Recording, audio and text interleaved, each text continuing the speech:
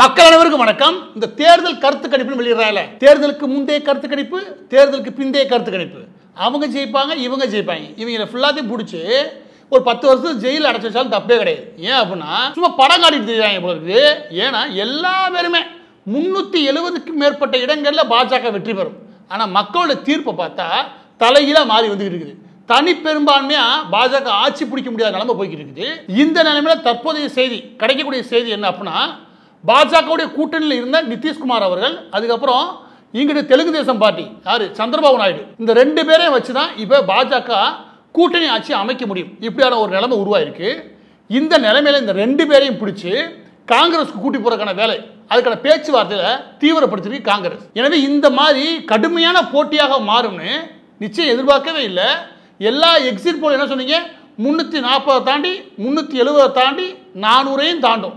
அப்படின்னு சொன்னால அப்போ அந்த கருத்து கணிப்புலாம் பொய் கேட்டா? அப்போ அந்த கருத்து கணிப்புலாம் பித்தலாட வேலை. தற்போதைய நிலையில் பாஜக நாடு முழுவதும் இருநூத்தி நாற்பதுக்கும் மேற்பட்ட இடங்கள்ல அவங்க வெற்றி வாகை சூடுறதுக்கான வாய்ப்புகள் உண்டு. இந்த நிலையில் ஆட்சி அமைக்கிறதுக்கு தேவையான இருநூத்தி எழுபதுக்கும் மேற்பட்ட இடங்கள் தேவைன்னா சுமார் முப்பது சீட்டு யாராவது இவங்க கூட்டணி கட்சியில் தேவை. அப்படி இருக்கும்போது இவங்கள்ட்ட இந்த தெலுங்கு தேசம் பார்ட்டி அதுக்கப்புறம் நிதிஷ்குமார் இந்த ரெண்டு பேரை தவிர்த்து சிவசேனா சிண்டே அவர்களுக்கு கீழே கூடிய சிவசேனா அவங்கள்ட்ட ஒரு அஞ்சு எம்பி இருக்குது. அதுக்கப்புறம் அஜித் பவாருடைய நேஷனல் காங்கிரஸ் அதுக்கு கீழே ஒரு ஒரே ஒரு எம்பி இருக்குது. பிற நபர்கள் பார்க்கும்போது சுமார் பதினெட்டு எம்பி வந்துடுறாங்க. இதெல்லாம் கூட்டும்போது சுமார் இரநூத்தி ஐம்பத்தஞ்சுக்கு மேலே போயிடுறாங்க. எனவே நிதிஷ்குமார் இல்லாட்டி தெலுங்கு தேசம் பார்ட்டி இந்த ரெண்டு பேரில் ஒரு ஆள் கட்டாயம் பாஜகவுக்கு தேவை. இந்த ரெண்டு பேரையும் ஒருவேளை காங்கிரஸ்னால் தூக்க முடியும்னா இங்கே தொங்கு பாராளுமன்றம் அமையும். இது உண்மையிலே பெரிய அளவில் அதிர்ச்சி தரக்கூடிய செய்தி. ஏன் அப்படின்னா நேற்று தூங்கி எழுந்த போது நான் என்ன சொன்னேன்? இன்னைக்கு கொண்டாட்டத்துக்கான நாள். அதாவது பாஜக பாஜக ஆதரவாளர்களை பொறுத்த வரைக்கும் ஒரு கொண்டாட்டத்துக்கான நாள். எனக்கு நரேந்திர மோடி தனிப்பட்ட விதத்தில் ரொம்ப பிடிக்கனால இன்னைக்கு ஒரு சந்தோஷமா நாளாக இருக்குன்னு சொல்லி தான் எந்திரிச்சோம். ஆனால் அந்த ஆரம்ப கட்டத்தில் வந்த அந்த முன்னணி சம்மந்தப்பட்ட புள்ளி விவரங்கள் இல்லையா? அந்த சீட்டு விவரங்களாக வர வர அது ஏறவே இல்லை. அது முன்னூறு தொட்டு அப்படி நின்றுச்சு அப்படியே நிற்கிது அந்த நேரத்திலலாம் எந்த மாநிலங்களில் இவங்களுடைய கணக்கு தப்புச்சு அப்படின்னு பார்த்தா டெல்லியில் ஆரம்பித்து பஞ்சாபில் தொட்டு ஹரியானாவில் ஆரம்பித்து சத்தீஸ்கரில் தொட்டு ஒடிசா வரைக்கும் இவங்களுடைய கணக்கு எங்கேயுமே தப்பவே இல்லை. ஆனால் தப்புனது மிக முக்கியமான ரெண்டு மாநிலங்களில் முதலாவது உத்தரப்பிரதேஷ். உத்தரப்பிரதேசில் சுமார் அறுபது ப்ளஸ் அறுபதுக்கும் மேற்பட்ட இடங்களில் வெற்றி பெறுவான்னு நினைச்சாங்க. ஆனால் அங்கே கெடுவாய்ப்பாக எஸ்பி அதாவது சமாஜ்வாதி பார்ட்டியும் காங்கிரஸும் பெரிய அளவில் நல்ல விதமாக வேலை பார்த்துருக்காங்க. அதனாலே சமாஜ்வாதி பார்ட்டி ஒரு முப்பத்தி மூணு காங்கிரஸ் ஒரு ஏழு இந்த போட்டு பாஜக ஒரு முப்பத்தி ஆறு இந்த மாதிரி வருது. இந்த கணக்கில் நம்ம கவனிக்க வேண்டிய விஷயம் என்ன அப்படின்னா ஒட்டுமொத்தமாக இந்த கட்சிகள் வாங்கிய ஓட்டு சதவீதம் என்ன அப்படின்னா தனியாக பாஜக மட்டும் வாங்கிய ஓட்டு சதவீதம் சுமார் நாற்பத்தி ரெண்டு சதவீதம். எப்படி? நாற்பத்தி ரெண்டு சதவீதம். ஆனால் அதுக்கு அடுத்த இடத்துல கூடிய சமாஜ்வாதி பார்ட்டி வாங்கின ஓட்டு இருக்கு இல்லையா? அது சுமார் இருபத்தஞ்சு சதவீதம் கூட கிடையாது. ஆனா சமாஜ்வாதி பார்ட்டி முப்பத்தி மூணு வெற்றி பெறுது. அதோட சுமார் பதினஞ்சு சதவீதம் ஓட்டு அதிகமாக வாங்கின பிஜேபி முப்பத்தாறு சீட்டு தான் வெற்றி பெறுது. எனவே உத்தரப்பிரதேச பொறுத்த வரைக்கும் பெரிய கணக்கு தப்பாக போனது கூட்டணி கணக்கு தான். கூட்டணி கணக்குனால மட்டுமே அங்கே பெரிய சரிவை பாஜக சந்திக்குது. அதை விட ரொம்ப முக்கியம். அதை விட ரொம்ப முக்கியம் சமாஜ்வாதி பார்ட்டியும் காங்கிரஸும் நினைச்சு பார்க்க முடியாத அளவுக்கு அங்கே வேலை பார்த்துருக்காங்க. அங்கே காங்கிரஸ் உண்மையிலேயே அங்கே மட்டும் கிடையாது பல இடங்களில் அவங்க பெருந்தன்மையோட அதிகப்படியான இடங்களை அந்தந்த பகுதியில் கூடிய ரீஜனல் பார்ட்டி இல்லையா அந்த அரசியல் கட்சிகளுக்கு கொடுத்துட்டாங்க. ஒருவேளை இவங்க பாதி இடங்கள் வேணும் அது வேணும் இது வேணும் சண்டை போடுறதான்னு சொல்லி இந்த கூட்டணி அமைஞ்சிருக்காது. இந்த கூட்டணி முழுமையாக சரியாக கட்டமைச்சு பெருந்தன்மையோடு நடந்துக்கிட்டது யார் அப்படின்னா காங்கிரஸ் தான். அதனால தான் அந்த கூட்டணி கணக்கு ச கணக்கச்சிதமாக வேலை பார்த்துருக்குது. களத்தில் வெற்றியை தன்வசப்படுத்துது. அயோத்தியில் அயோத்தி இருக்கக்கூடிய ஃபரிதாபாத் நினைக்கிறேன். அந்த தொகுதி முதற்கொண்டும் காங்கிரஸ் கூட்டணி கைப்பற்றுறாங்க. எல்லா பேருக்கும் மிக முக்கியமான பாடம் அமைஞ்சது மகாராஷ்டிரா. மகாராஷ்டிரையும் பாடம் அமையுது உத்தரப்பிரதேச விட அப்படின்னா மகாராஷ்டிராவில் கூட்டணி கணக்கு கரெக்ட் தான். ஆனால் நடந்த அரசியல் விளையாட்டுகள் இருக்குல்ல அது பெரிய லெவலில் மக்கள் மத்தியில் ஒரு அனுதாப அலையை எதிர்த்தரப்பு உருவாக்கிடுச்சு எடுத்துக்காட்டுக்கு சிவசேனா ரெண்டாக பிளக்குது. ஒரு படம் சிண்டே இன்னொரு போட்டு உத்தவதேவ் தாக்கரே. உத்தவ்தேவ் தாக்கரே தான் உண்மையான வாரிசுன்னு வச்சுக்குவேன் சிண்டே வச்சு ரெண்டாக பிளக்கப்படுது. இதில் யாருக்கு கட்சி சொந்தம் அப்படின்னு சொல்லும்போது சிண்டே அவர்களுக்கு கட்சின்னு ஒப்படைக்கப்படுது. அந்த ஒப்படைக்கப்பட்ட அந்த சிண்டே அவர்களுடைய அந்த குறிப்பிட்ட சிவசேனாக்கு அஞ்சு தான் கிடைக்குது. ஆனால் உத்தவ் தாக்கரே இருக்கா இல்லையா? அவர் சிவசேனாவோட சிம்பிளே நிற்கலை சிவசேனா சிம்பிளும் போச்சு. ஆனால் சிவசேனா சிம்பிள் இல்லாமல் புதிய சிம்பிளை வாங்கி நிற்கிறாரு ஆனால் உத்தவ் தாக்கரே பத்து இடங்கள் வெற்றி பெறாரு. சிண்டே அவர்கள் அஞ்சு அஞ்சு இடங்களை வெற்றி பெறாரு. கட்சியும் கிடைச்சிருச்சு சின்னமும் கிடைச்சிருச்சு. ஆனால் அஞ்சு தான் வாங்க முடியுது.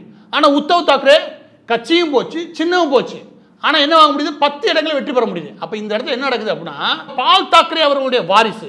அந்த சிவசேனா அவர்களுடைய வாரிசாக அந்த கட்சியினுடைய காட்ஃபாதர் இருந்த பால் தாக்கரே அவருடைய மகன் உத்தவ் தாக்கரே தான் இந்த மக்களுக்கு சிவசேனாவுடைய அங்கீகரிக்கப்பட்ட முகமாக மக்கள் பார்க்குறாங்க. அது இன்னொரு விஷயம் என்ன கட்சி அவர்கிட்ட இருந்தால் கூட அந்த கட்சி அழிஞ்சு போயிருக்கும். அந்த கட்சி அவர்கிட்ட போச்சு இல்லையா? அது பறிக்கப்பட்டதாக மக்கள் பார்க்க ஆரம்பிச்சிட்டாங்க. அந்த சின்னம் போனதுமே உத்தவ் தவ் தாக்கரே இருக்கலையே அவர் மேலே ஒரு பெரிய அனுதாபம் உருவ ஆரம்பிச்சிருச்சு. அந்த மகாராஷ்டிரா முழுவதும் உத்தவ் தாக்கரே மட்டும் கிடையாது பால் தாக்கரே குடும்பத்துக்கு ஒரு அநீதி இழைக்கப்பட்டதாக மக்கள் கருத ஆரம்பிச்சிட்டாங்க. உண்மையிலேயே உத்தவ் தாக்கரேக்கு அவ்வளோ பெரிய நிர்வாகத்திறன்லாம் கிடையவே கிடையாது. இந்த முறை அனுதாபாலை தவறான அரசியல் கணக்கெல்லாம் உருவாயிருச்சு. அதே பிரச்சனை தான் இந்த நேஷனல் காங்கிரஸ் சரத்பவார் அவருடைய கட்சிக்கு. அவருடைய கட்சியும் போச்சு சின்னவும் போச்சு. யாரு? அவரோட தம்பிட்டே போச்சுன்னு வச்சுக்கோங்க அஜித் பவார்ட்ட போச்சு. அவர் கட்சியை எடுத்துக்கிட்டாரு சின்னத்தை எடுத்துக்கிட்டாரு. ஆனா வாங்கினது ஒரே ஒரு இடத்துல ஓட்டு. ஆனா அஜித் பவார்ட்ட போன அந்த நேஷனல் காங்கிரஸை மக்கள் ஒரிஜினல் நேஷனல் காங்கிரஸை பார்க்கவே இல்லை. ஏன்னா யார்? சரத்பவார் அவருடைய கட்சி தான் அது. அவருடைய மகளுக்கு தான் அந்த கட்சி சொந்தம் அப்படின்னு மக்கள் பார்க்க ஆரம்பிச்சிட்டாங்க. அது அவங்கள்ட்ட இருந்து பிடுங்கி இந்த அஜித் பவார்ட்ட கொடுத்தாங்க இல்லையா? அதனாலேயே மக்கள் அதை அங்கீகரிக்கவே இல்லை. ஒரே ஒரு சீட்டு தான் இவங்க வெற்றி பெற்றாங்க. மாறா தன்னுடைய கட்சியும் போய் தன்னுடைய சின்னமும் போன சரத்பவார் அவங்களுடைய மகள் இருக்காங்களே அவங்க ஏழு இடங்களில் வெற்றி பெறாங்க. இந்த அரசியல் கணக்கும் மகாராஷ்டிராவில் ஒரு மிக முக்கியமான பாடம். ஏன்னா மக்கள் சின்னம் கட்சி இதையெல்லாம் தாண்டி அனுதாபம் இருக்கு பாருங்க. அந்த அனுதாபம் உருவாயிருச்சுன்னா எந்த ஆளையும் எதிர்கொள்வாங்க. இந்த ரெண்டு மிக முக்கியமான மாநிலங்கள் மூலமாக சுமார் போட்ட கணக்குலேருந்து இவங்களுக்கு நாற்பத்தஞ்சு சீட்டு குறைவாக வருது. நாற்பத்தஞ்சு சீட்டுக்கு மேலே குறைவாக வரதுனால இருபது ஐம்பது சீட்டு வச்சுக்கோங்க ஐம்பது சீட்டு குறைஞ்சி அந்த படி ஐம்பது சீட்டு ஏறுது இல்லையா? அதில் தான் ஒட்டுமொத்த கணக்கு மாற ஆரம்பிச்சது. இதில் விசித்திரமான விஷயம் என்ன அப்படின்னா இதே மாதிரியான ஒரு அனுபவம் பாஜகவுக்கு உண்டு.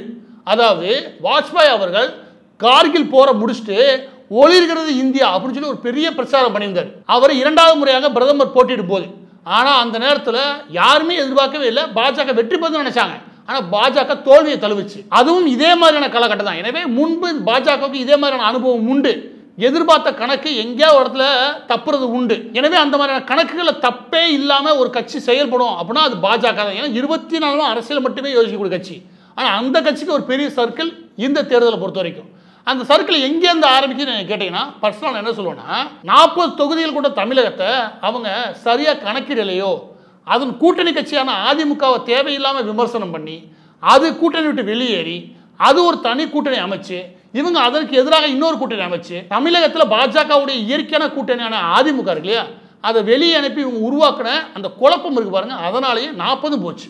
இல்லைன்னா இந்த ரெண்டு பேர் இருந்திருந்தாங்கன்னா தமிழகத்தில் முப்பதுக்கு மேற்பட்ட சீட் வச்சிருக்க முடியும். இன்னைக்கு அந்த முப்பது முப்பத்தஞ்சு சீட் வச்சுக்கவே அவங்க போய் காங்கிரஸ்ல சேர கிடையாது. ஏன்னா திமுகவும் காங்கிரஸ் நிற்கிது எனவே இந்த எப்படியும் பாஜகவை தான் ஆதரிக்க போறாங்க.